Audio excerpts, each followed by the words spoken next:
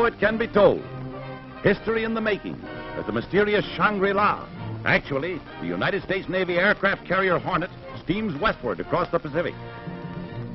The protecting force of cruisers and destroyers, with the hard-hitting Admiral Halsey in command, slams into a gale, determined to reach a position 400 miles from Tokyo, unless intercepted by the enemy.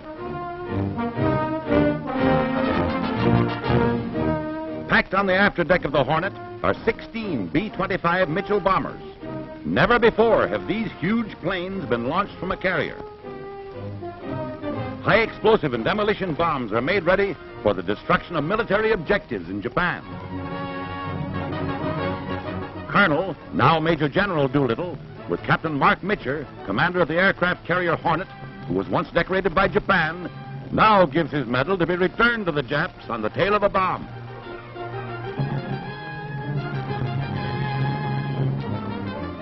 Not until they are miles at sea do these men know definitely the mission for which they have volunteered. Their mission? Bomb Tokyo, just four months after the attack on Pearl Harbor. It had three real purposes. One purpose was to give the folks at home the first good news that we had had in World War II. It caused the Japanese to question their warlords. And from a tactical point of view, it caused the retention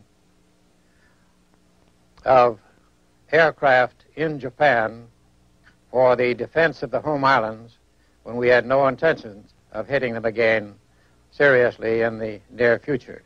Those airplanes would have been much more effective in the South Pacific where the war was going on. Suddenly, a strange vessel is sighted. It's a Jap patrol boat, and the task force intends to destroy it before a warning can be radioed to Japan.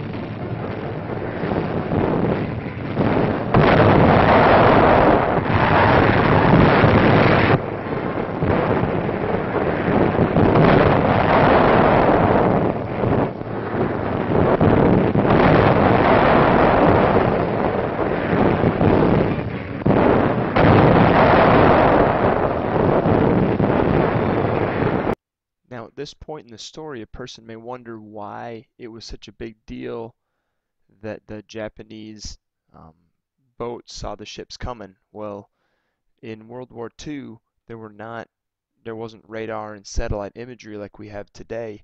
Uh, a ship this size that would never go across the seas un, unnoticed today. Uh, but back then, what they had to rely on were their patrol boats moving around and, and seeing the seas and seeing the enemy coming.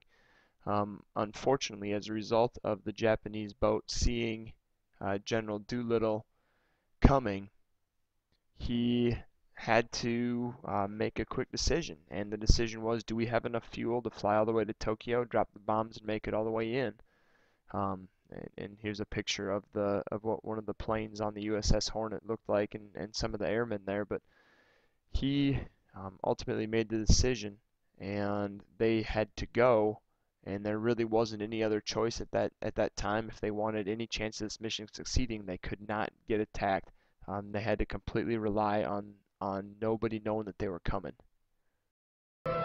Jimmy Doolittle asked Admiral Halsey to go in closer for another hour and a half.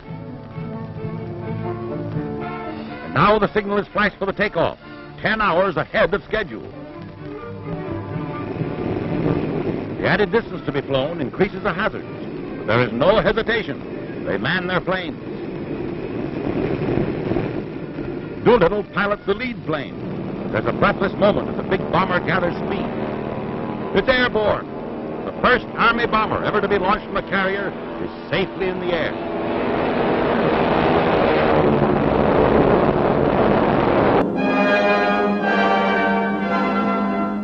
We came in on the deck. We pulled up to about 1,500 feet to bomb in order to make sure that we weren't hit by the fragments of our own bomb.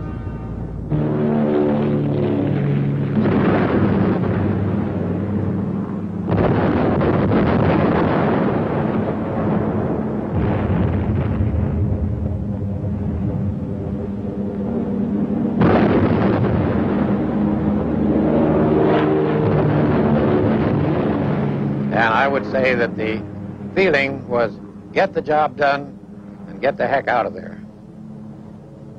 The actual damage done by the raid was minimal. We were 16 airplanes, each carrying one ton of bomb. In later raids, General LeMay, with his 20th Air Force, sent out 500 planes on a mission, each carrying 10 tons of bombs.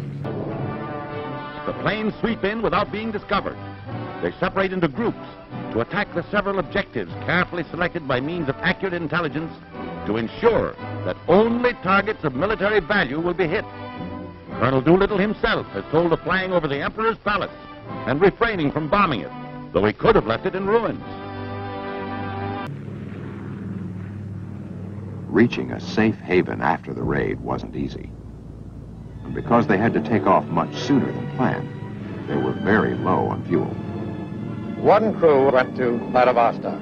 The other 15 of us proceeded until we got to the coast of China. When we got to China, two airplanes were so low on fuel that they landed in the surf alongside of, of the beach. Uh, two people were drowned, eight of them got ashore.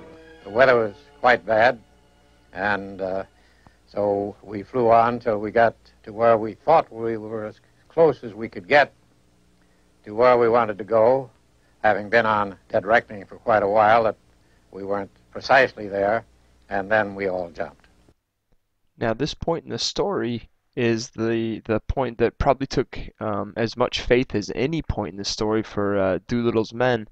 Um, when they when they were over China, none of them could speak Chinese, and they were jumping out of an airplane into a foreign land where they'd never been, and just having faith that the Chinese people who they met were going to be friendly to their cause. And like he said, um, you know, here's a picture of the of the wreckage of of General Doolittle's airplane. You know, they just jumped out of their airplanes. They were flying at low altitude. They were running out of fuel, and they really had no choice. They just jumped out of their planes, abandoned them, and allowed the planes to crash into the ground, saving their own lives. And thankfully, uh, the people that they met in China were friendly and helped them out. 80 crew members flew in the Doolittle raid 64 returned to fight again. They were part of a team recognized for its professionalism and heroism. A rich heritage remembered by a new generation of airmen. It happened April 18th, 1942.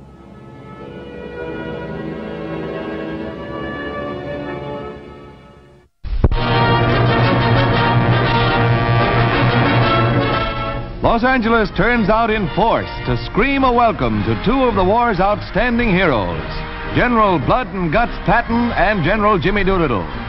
Along the route, nearly two million people turn out to acclaim the man who beat the Germans at their own game of mechanized warfare.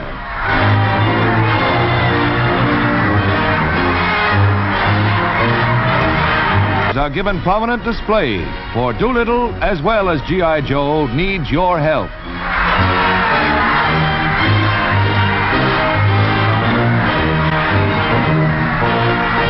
General Doolittle, Tokyo bound again, has the right slant when he says, I'd like to form a team now the home team and the field team. And to say that if you will furnish us the supplies, if you will furnish the ships, if you will deliver the supplies, we, the field team, will see that they're properly used and bring this war to a prompt conclusion. Thank you. And General Doolittle's words proved true, as the American public funded the war and made sure to send plenty of ammunition and supplies overseas um, for the soldiers. Um, saw a prompt end to the war. Uh, that speech given in April of 1945. Uh, the war was ended very soon after that. And um, General Doolittle and his raid uh, proved to be one of the major turning points in the war and one of the reasons why the war did end so quickly.